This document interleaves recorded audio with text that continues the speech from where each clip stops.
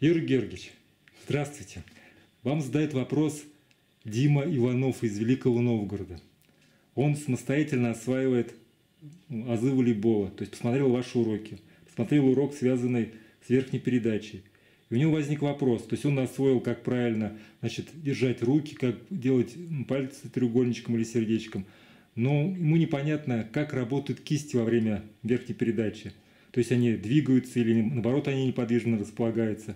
То есть вот как, на что ему следует обратить внимание? Подскажите, пожалуйста.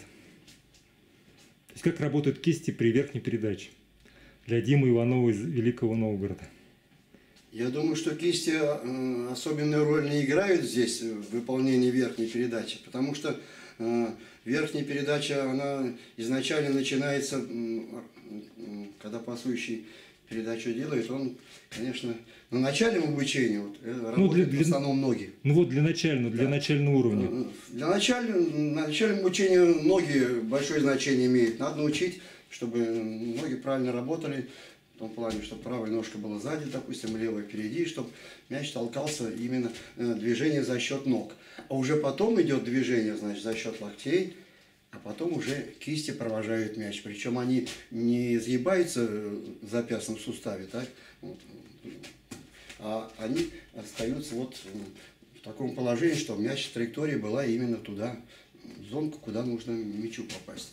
А если кисти будут работать, то это чревато ошибкой, что мяч будет э, лететь по другой траектории. Это нападающий удар мы значит, э, осваиваем, когда вот тут уже мы заставляем кистью работать. Там, когда нападающий работает, вот кисть работает. А здесь исключительно работа ног, локти и потом конечное движение, жесткие пальчики пружинистые, за счет чего мы с набивными мячами как раз проходили начальное обучение.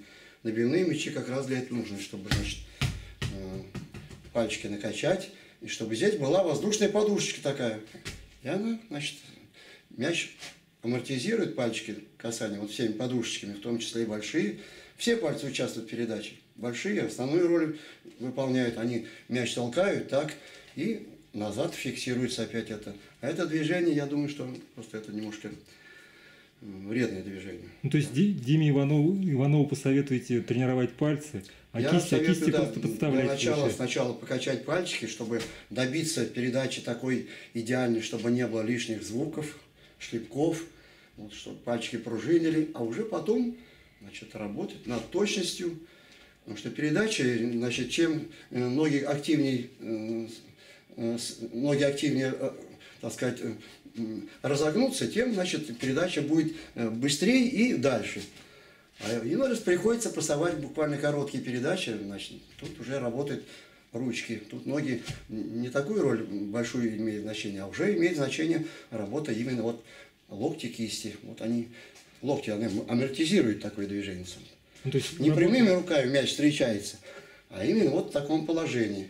Это плохо, когда локти ниже, а отсюда, когда передача идет. Она должна идти вот именно отсюда, чтобы человек, вот о чем мы говорили тогда, про этот треугольник, про сердечко. Вот чтобы это сердечко, так сказать, оно все время присутствовало. Чтобы человек через это сердечко, значит, мяч визуально наблюдал. Ну, то есть кисти фактически неподвижны. А вот боком покажите, как это еще выглядит, боком, чтобы заснял работу, как вот, вот, так вот еще раз. раз. Кисти, движение идет. Если траектория быстрой передачи, то, значит, движение идет такое, а если траектория передачи, если надо высокую передачу сделать, то тут фиксируешь передачу вверх, и кисти фиксируют это положение. Ну давайте еще ваши ноги покажем. Покажите, да. как вы при этом ногами работаете. Ну, ноги, ноги практически одновременно. Левая чуть-чуть ножка впереди, потому что с параллельных ног передача хорошая не будет, неудобно. Это просто наша чисто физиология, неудобно, ноги работают. С такими шпагатами тоже плохо. По сути, провалилась правая нога, нечем мяч толкать. Значит, правая ножка, вот она особую роль выполняет, правая, левая она стоит как бы устойчиво. Вот пасующий выбрал место, правое, левое, последний шаг. И вот он вышел под мяч и делает передачу. Но есть передача в безопорном положении, есть передача, когда пасующий прыгает и пасует. Вот тут уже большое значение уже, так сказать, приобретает вот эта, так сказать, работа кистей. именно локтей и кистей. Ну все. Ну, факт тот, что Вот это, я То есть в, опор- в опорном положении кисти, значит, неподвижны Да, фактически, да, работают да. локти и ноги, Да. а, допустим, при пасе в прыжке, Да. соответственно, там уже да, можно а поиграть. там работают только значит, локти и кисти направляют, конечная фиксация идет за мячом. Ну все, спасибо вам еще раз. Надеемся, все-таки будет продолжение с уроками, Я да? думаю, да. Набивные мячи, как мы да. обещаем, все-таки уже там полгода. Поработаем, да. Наверное, поработаем. Просто покажу с ребятами пятого класса. Мы, может быть, даже все эти уроки по- повторим только для вот, начального обучения и дальнейшего обучения вот, ребят 10, 11, 12 лет. Ну все, спасибо большое, Ильич.